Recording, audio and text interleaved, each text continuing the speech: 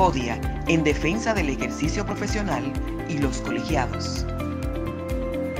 Italia en una situación de crisis económica fruto de la pandemia, pero nosotros esperamos que el gobierno se conduela de estos profesionales, que son dominicanos todos, para que se les resuelva su situación de un compromiso que ya ellos cumplieron hace más de cinco años.